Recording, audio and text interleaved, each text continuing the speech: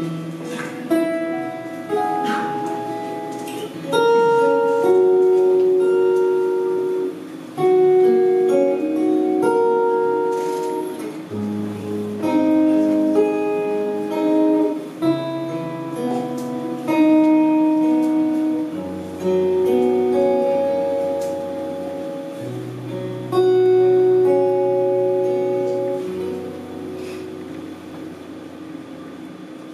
한 번도 잊은 적 없었던 네